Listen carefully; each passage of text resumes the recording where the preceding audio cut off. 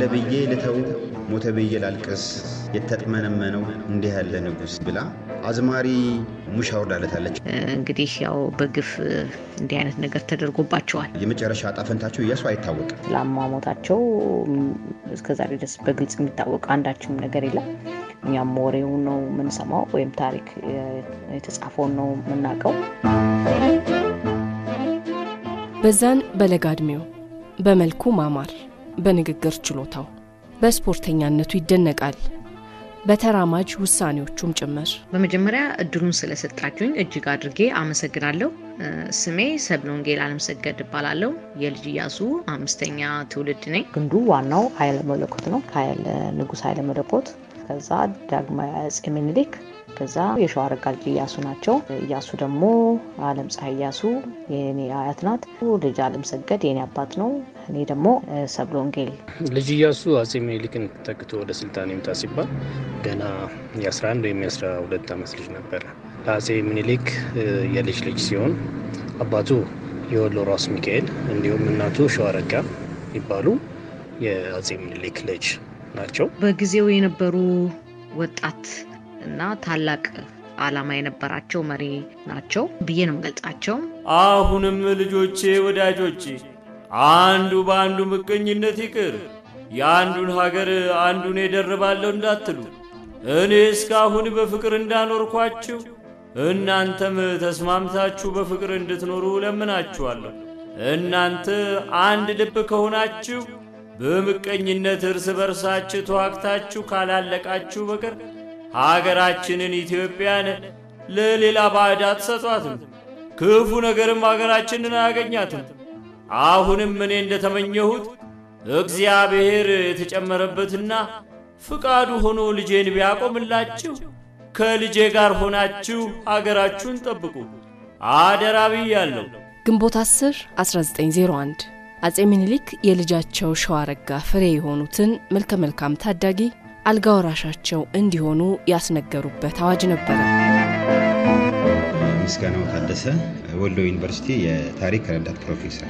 ከልጅ ኢያሱ ቀደም ሲልም በተለይ በመካከለኛው ዘመን የኢትዮጵያ ታሪክ ከልጅ ኢያሱ ባነሰ እድሜ የነገሱ በጣም በርካታ ነገስታት አሉ። እንግዲህ ያው የዘር ሐረግ ጉዳይ ይሆንና ልጅ ሳይደርስ አባት ይሞታል፣ ልጁ ይነግሳል። ከዛ በሞግዚት የሚተዳደርበት ሁኔታዎች አሉ። የእሱ ለየት የሚያደርገው ነገር ምንድን ነው? አማካሪ አልፈልግም፣ በራሴ ተዳደራለሁ፣ በራሴ ወስናለሁ አልሰማችሁም የሚል ሁኔታዎችን ነው የምንመለከተው። ገረመው ከበደ እባላለሁ። በብሔራዊ ቤተ መዛግብትና ቤተ መጻሕፍት ኤጀንሲ ከፍተኛ ባለሙያ ነኝ። የኢትዮጵያ ሕዝቦች ምንም አይነት የብሔር ልዩነት ቢኖራቸውም እንኳን በዜግነት መንፈስ ባህልና ሃይማኖታቸውን በነፃነት እንዲያራምዱና መላዩ ኢትዮጵያዊ እኩል የሀገር ፍቅር ስሜት ኖሮት ለሀገሩ እንዲያበረክት ጥረት ማድረጉ ነው። በተለይም ጉዳይ ጎልቶ የሚታየው በሶማሌና በአፋር አካባቢ ያሉ ማህበረሰቦች በኢትዮጵያዊነት መንፈስ እንዲንቀሳቀሱና እንዲሁም ደግሞ ብሔራዊ ስሜታቸውን እንዲያብብ ያደርግ የነበረው ጥረት ነው። እንግዲህ በኢትዮጵያ ታሪክ መስጊድ የሰራ ንጉሥ ቢኖር ኢያሱ ነው። ከኢያሱ ቀደም ያሉ ነገስታት በሙሉ ማለት ይቻላል ቤተክርስቲያን ሰርተዋል። እዚህ ጋር ራሳቸውን በሸዋ መኳንንትና የክርስቲያን መሪዎች ብቻ አጥረው መቀመጥን አይፈልጉም ነበር። በርካታ መስጊዶችን በተመሳሳይ መልኩ ግን ብዙ አብያተ ክርስቲያናትንም አስገንብተዋል። ከተወለድንበት ማህበረሰብ ውጪ ከሌሎች ህዝቦች ጋር እንዴት አብረን መኖር እንደምንችል ካለን እሳቤ ካለን አመለካከት ውጪ ሰፋ ባለ መልኩ አብሮ መኖር እንደሚቻልና ሰውነትንም እንማራለን ከኢያሱ ሰው መሆንን የአዳ ዘመኑ የተፈጠሩ የሚባሉ መሪዎች አሉ አይደለም። ከነዛ አንዱ ልንላቸው እንችላለን። ኢያሱ ይቺ ሀገር የሁሉም ነች፣ የሙስሊሙም የክርስቲያኑም ነች የሚል የተለያዩ ህዝቦችን ከመደብ ነፃ በሆነ መልኩ ከዘር ከሃይማኖት ነፃ በሆነ መልኩ እኩልነትን አውጃለሁ ብለው የተነሱ ሰው ነበሩ። ዘመኑ አላስተናገዳቸውም። እሳቸው ልክ ነበሩ። እኔ ጎልማሶች አስከትዬ ሀገር ለመጎብኘት ያልቀናውን ሀገር ለማቅናት በተነሳው ጊዜ ያለ ፈቃዴ መከተል የለባችሁ። ወፍራችኋል፣ ሸምግላችኋል። በዘመናችሁ አባቴን ተከትላችሁ ሀገር አቅንታችኋል። አሁን ግን ሸሽታችሁ አታመልጡ፣ አባራችሁ አትጨብጡምና ተመልሳችሁ በየሥራችሁ ጠንክሩ። መርሴ ያዘንን ጠቅሰው ፕሮፌሰር ባህሩ ዘውዴ እንደጻፉት ነው። በምኒልክ ዘመን ንጉሳቸውን አጅበው አገር መዞርን እንደ ትልቅ ወግ ይቆጥሩ የነበሩ መኳንንት ቅስማቸው እንዲሰበር አልፎም እንዲያኮርፉ ምክንያት የሆነ ቃል ነበረ። ለመውደቅም አንዱ ምስጢር ከሌሎቹ ለየት የሚያደርገው ምንድን ነው የሚለውን አንደኛ official visit ነው የምንለውን የስራ ጉብኝት የመስክ ጉብኝት የሚያበዛ ሰው ሆኖ ተገኝቷል። አንዳንዴ ለሰባት ለስምንት ወራት ከከተማ ይወጣል። ይሄ ደግሞ ከተማ አይቀመጥም፣ መዞር ነው ስራው። አሁን look የዚህኛው ዓላማ ህዝቦችን እየዞሩ አገራቸው ነው ኢትዮጵያ የሁላችሁ ሀገር ናት የማለት አንድነትን የመስበክ ነገር ትመለከቻለች። በዚህኛው side ደግሞ ከተማ ላይ አይቀመጥም መዞር ነው ስራው የሚል ወቀሳ አስከትሎባቸዋል። ልጅ ኢያሱ በወቅቱ ዋነኛ ከሚባለው የውጭ ግንኙነት ዓላማቸው ውስጥ የኢትዮጵያን ግዛት ቀድሞ ከነበረው ማስፋት ነበር።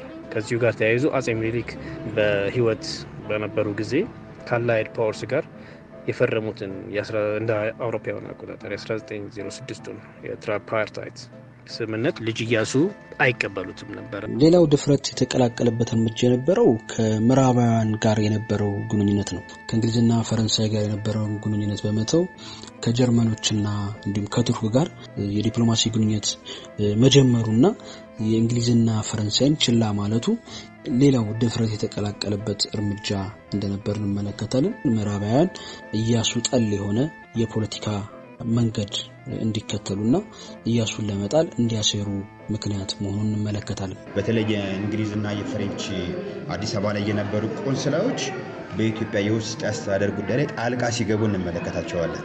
የእንግሊዝ ኤምባሲ ድረስ ሄደው በውስጥ ጉዳያችን ጣልቃ አትግቡ፣ የያዛችሁንም አንዳንድ ድንበሮቻችንንም ለቃችሁ ውጡ ብለው ማስጠንቀቂያ ሰጥተው እንደተመለሱ አንዳንድ የጽሁፍ መረጃዎችን እንመለከታለን። ይህን ስንመለከት ከሀገር ሉዓላዊነት ጋር በተያያዘ መልኩ የተሻለ ሚና ነበራቸው።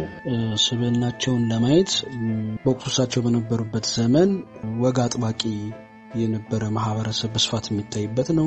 ልጅ ኢያሱ ግን የነበራቸው ስብዕና ነፃ የሆነ ጨዋታ አዋቂ የሚያምኑበትን ነገር ለማድረግ የሚደፍሩ ወጣ ያሉ እርምጃዎችንም ቢሆን ለማድረግ የማይፈሩ መሪ ወይም ንጉሥ እንደነበሩ መመለከት እንችላለን። በአንድ ወቅት ፊት አውራሪ ተክለ ሐዋርያት ቤት በድንገት ከተፍ ይላሉ። የመሯቸውም ነጋ ድረስ ተሰማ እሸቴ ነበሩ። በምሽት ሰዓት እቤት ውስጥ ሳያቸው ደነገጥኩ ይላሉ ፊት አውራሪ በጽሑፋቸው ላይ። ልጅ ኢያሱ ታዲያ የቤቱን ክፍሎች ሁሉ እየገቡ ካዩ በኋላ ዕቃዎቻቸውንም ሁሉ ከቃኙ በኋላ ይቀመጡ ብለው ወንበር እንኳን ስላልሳቡላቸው አልፎም እንዲያስረዷቸው የጠየቋቸውን የፎቶዎች ታሪክ አልናገርም በማለታቸው ይመስላል መዱን አነሱና ቀለሙን በራሴ ላይ ደፉት ይሉናል። ደግሞ በሌላ ጊዜ መቼም ጨዋታ ይወዳሉና ሐረርን ሲጎበኙ በአለማያ ባህር ላይ አቋረጥን። እማዶ እንደተሻገርን ልጅ ኢያሱ መቦረቅ ጀመሩ።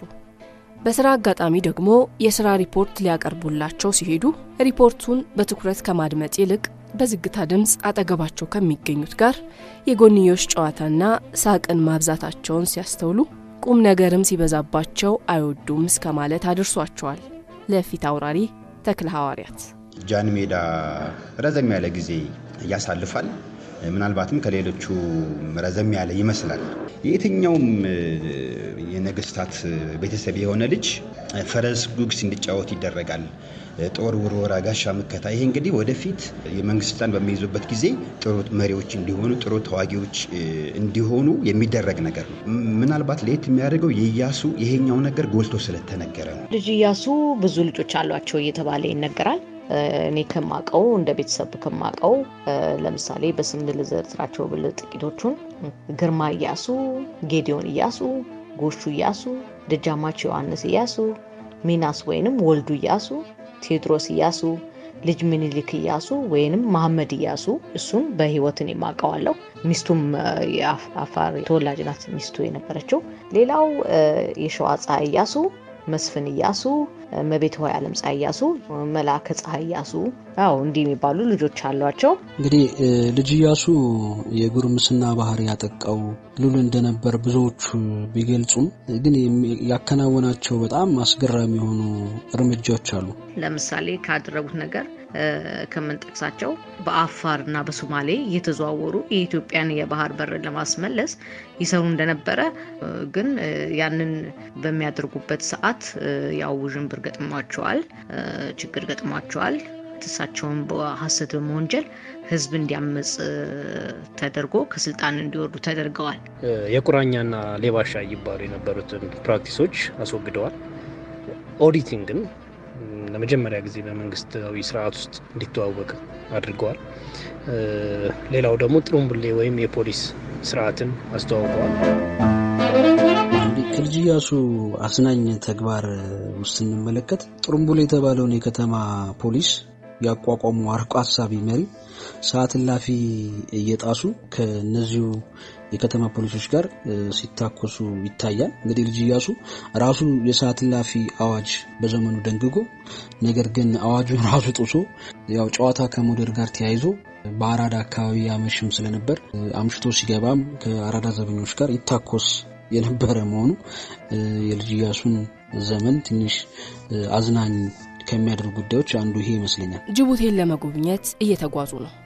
በመንገዱ ከአዲጋላ ጀምሮ የሶማሌ ልጆች በመስኮት እየቀረቡ አላሜር አላሜር ይላሉ። ልጅ ኢያሱ ምን ማለታቸው ነው ብለው ይጠይቃሉ። ወደ ባህር ወደ ባህር ይላሉ። ገንዘብ ጣሉልን ማለታቸው ነው አልኳቸው። ገንዘብ አምጣሉኝና በየጣቢያው አንዳንድ ቤሳ እየወረወሩ ልጆቹም እየተሻሙ ጅቡቲ ዘለቅን። ኋላም ቀኑን ሙሉ በአውቶሞቢል እየዞሩ ገንዘብ ሲያድሉ የጅቡቲ ሶማሌ እያወካ ሲከተላቸው ያሶ ያሶ እያሉ ሲሮጡ ከተማው ተሸበረ። እኔም በከረጢቴ ቤሳ እያስሞላሁ ይዤ እንድከተላቸው ታዘዝኩ። በፍኛቸው ሙሉ እየሰጧቸው በአንድ አፍታ በትነው ይጨርሱታል። እንደዚህ በቀን ከአራት እስከ አምስት ከረጢት ጨርሰው ይውላሉ። ጎበዝ ናቸው። ከእርሳቸው ይልቅ የኢትዮጵያ ሕዝብ ጎበዝ ነው። ይህን ገንዘብ የሰበሰበው እርሱ ነው ብለው ጽፈውታል።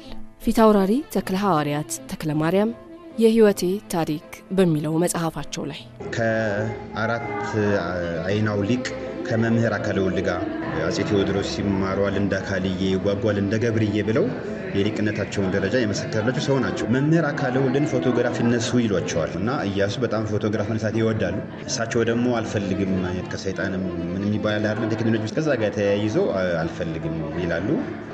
እንደው መልካቸውም ያን ያክል መልከ ጥፉ ከሚባሉ ወገን ነበሩና አሁን እንደው ለየትኛው መልክ ብለህ ነው ብለው መለሱለት ይባላል እና የሆነ ቀን ላይ መምህሩን አለባብሰው ጠረጴዛ ላይ እንዲያስቀምጧቸው ያደርጋል። የፎቶግራፍ አንድ የጣሊያን የፎቶግራፍ ባለሙያ ከመጋረጃ ጀርባ ሆኖ ድንገት መጋረጃውን ገልጦ ፎቶግራፍ ያነሳቸዋል። አንድ ፎቶ ነው ያላቸው። ከዛም በኋላ አልተነሱም። ከዛ በፊትም አልተነሱም። ያው ጋራ ሙለታ ሀረር ታስረው እንደነበረ ከዛም ደግሞ እንዲሁ ሳላሌ ከዛ ደግሞ አዲስ አበባ መጥተው ደግሞ ታስረው እንደነበረ ብዙ ሰዎች የጎበኟቸው እንደነበረ በስር ላይ እንዳሉ እና አዲስ አበባ እንደተገደሉ ይነገራል። እንግዲህ እንዴት እንደሞቱ ማን እንደገደላቸው አስክሬናቸው የት እንዳለ ምን እንደሆነ ምንም የሚታወቅ ነገር የለም። ፀሐይ መዝገቡ አባተ እባላለሁ። የእሳቸው ልጅ እንግዳ እሸት ወይም መላከ ፀሐይ ኢያሱ የእናቴ የወይዘሮ ቀለመወርቅ ወልደ አማኑኤል ታላቅ ወንድም ነው። አባቴ ተወልዶ ያደገው ሀረር ጋራ ሙለታ ግረዋ ነው።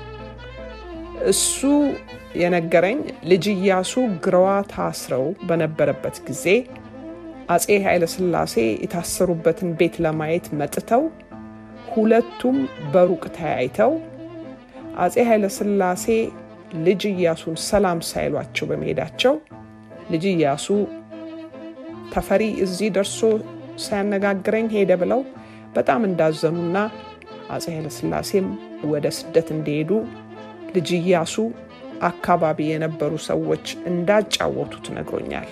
ኢያሱ ታስረው ሳለ ከኢያሱ የቅርብ ወዳጆች አንዱ ነጋድራስ ተሰማ እሸቴ ናቸው። ገጣሚ ናቸው በሙያቸው እንደምታውቂው። እንግዲህ ከታሰሩባቸው ቦታዎች አንዱ ፍቼ ነው። ፍቼ ታስረው እያለ ተሰማ እሸቴ በጣም ይቆጩ ነበረ አንድ ቀን የተቀኙላቸው አንድ ቀን ገጠሙላቸው። የበላሁት ጮማ የጠጣሁትም ጠጅ ሆዴን ጨነቀው፣ እንደምንስ ብዬ ተፍቼ ላውጣው ብለው እንዴት አድርጌ ከፍቼ እስር ቤት ላስመለጠው የሚል አይነት ቀን ተቀኝተውላቸዋል። ልጅ ኢያሱ እሳቸው ከስልጣን ለማውረድ ያሳድዷቸው ስለነበረ ተረጋግተው የመንግስትን አገዛዝ ስርዓት ለማድረግ አልቻሉም ነበር። በመሰረቱ ያልነገሰ ንጉስ ነው ብዬ የምገልጸው ኢያሱ በምኒልክ ዙፋን ላይ አልተቀመጠም። እባክዎት ንጉሠ ነገሥት ተብለው በአያቶ ዙፋን ይንገሱ ሲሉት አባቴ ንጉሥ ሳላሰኝ ፈረሴን ከቀይ ባህር ውሃ ሳላጠጣ ንጉሠ ነገሥት ተብዬ ዘውድ አልጭንም ብሎ ይመልሳል። አባታቸው ንጉሥ ያሰኛሉ በትግራይና በወሎ ላይ። ከዛ በኋላ ግን ከቀይ ባህር ውሃ ሳላጠጣ የሚለው ወደቡን ሳላስመልስ ነው። እንግዲህ ከአፄ ዮሐንስ ጀምሮ ኤርትራን ወደቡን አተነዋል። ስለዚህ ትንሽ ጊዜ ባገኝ ኖሮ እያሱ ቀይ ባህር ወደቡ ይመጣል፣ ኢትዮጵያ ባለ ወደብ ትሆን ነበር የሚለው አንድ እይታ፣ አንድ ነገር እሱ ነው።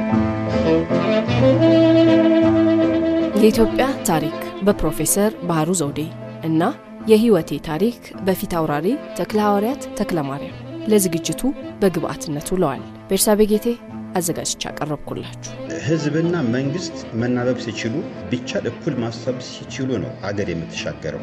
አንዳንድ ጊዜ የህዝብ ንቃተ ህሊና ወደኋላ ቀርቶ የመሪዎች ወደፊት ሲሄድ የተሻለ መሪም እንኳ ቢሆን ቅሉ ህዝቡ ላይቀበለው ይችላል፣ ሊያወግዘው ይችላል። ኢያሱም ጋር የምንመለከተው ነገር ይሄ ነው። እኩልነት ላይ የተመሰረተ ትልቅ አገር መስራት ሲባል አይ ከሌጋማ እኩል አንበላም አይነት ሁኔታዎችና ከምንም በፊት ዜጋን ማንቃት ያስፈልጋል።